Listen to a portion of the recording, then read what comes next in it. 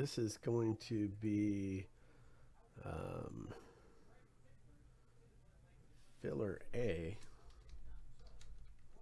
for 22B Inception 123.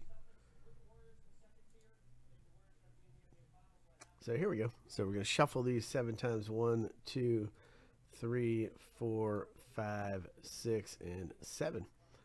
And off to the races. So first place is going to get two spots in the break. First place going to get two spots. Craig is off to a big lead. Man, a wide angle lens couldn't even capture the severity of the lead Craig had, but Craig's starting to fall back now. The yellow Oliver G catching up to him here. Look at this. Look at this guy. Oh, Stephen K at the top. Can he catch up? Can he catch up? No, he can't. Oliver G takes this one. Congratulations, Oliver G.